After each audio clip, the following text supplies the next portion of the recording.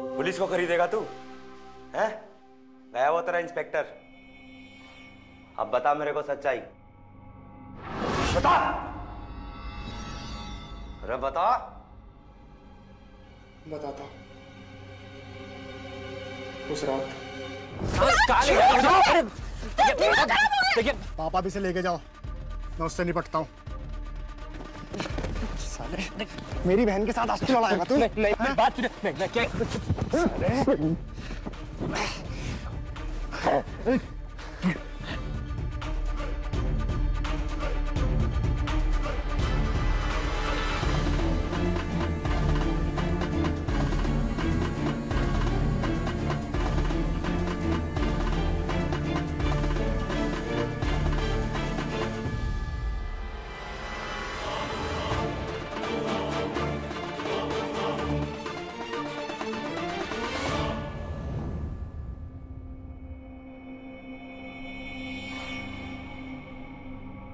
तमाम सबूतों से ये बात साफ़ हो गई है कि कुणाल सोलंकी ने ही अंकित सक्सेना का खून किया है।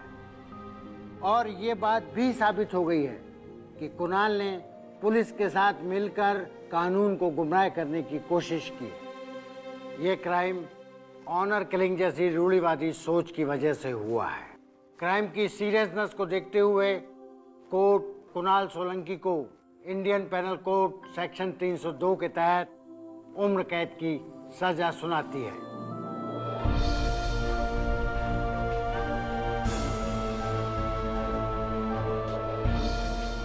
थैंक यू बेटा।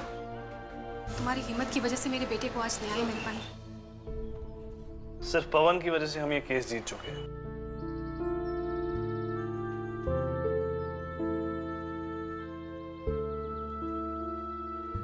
मुझे माफ़ कर दीजिए।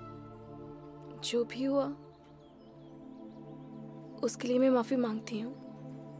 दोषी को सजा मिल गई? मुझे कोई शिकायत नहीं। हाँ एक बात की तकलीफ़ ज़रूर है कि मेरे बेटे ने ऐसी लड़की से प्यार किया, जो उस वक्त कमज़ोर पड़ गई जब मेरे बेटे को उसके प्यार की सबसे ज़्यादा ज़रूरत थी।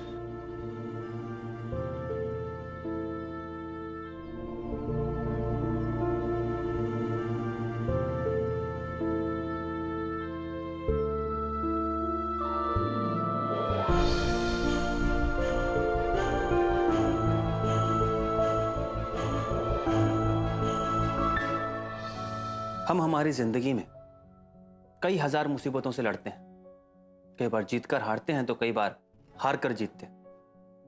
और जब ये लड़ाई एक माँ अपने बच्चे के लिए लड़ रही हो तो वो हर हाल में जीतना चाहती है। शालिनी जी ने ये लड़ाई लड़कर साबित कर दिया कि सच चाहे जितना भी अकेला क्यों ना पड़ जाए, हारता कभी नहीं। और ये उनके इसी हौसले की जीत थी। तो लाख मुसीबतों के बावजूद भी लड़ती रही और कहती रही, तुझसे नाराज़ नहीं ज़िंदगी।